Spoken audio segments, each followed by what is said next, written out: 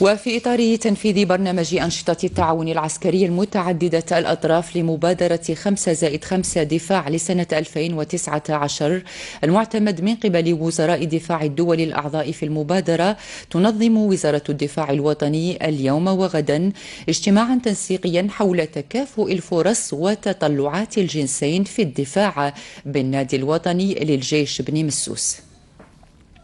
وأشرف على افتتاح فعالية هذا الاجتماع باسم السيد الفريق نائب وزير الدفاع الوطني رئيس أركان الجيش الوطني الشعبي المكلف بمهمة لدى وزير الدفاع الوطني. ويتعلق بالمشاركة الجزائرية في مبادرة خمسة زائد خمسة دفاع بحضور ممثلين عن البلدان الأعضاء في المبادرة خمسة زائد خمسة دفاع بالإضافة إلى ممثلين عن قيادات القوات وقيادة الدرك الوطني. وتجدر الإشارة أن تنظيم هذا الاجتماع يهدف لتبادل المعارف والخبرات بين القوات المسلحة لبلدان المبادرة والبحث عن السبل والوسائل الكفيلة بتطوير مكانة المرأة في مختلف المجالات المرتبطة بالقوانين المسيرة للمستخدمين من العنصر النسوي في الجيوش.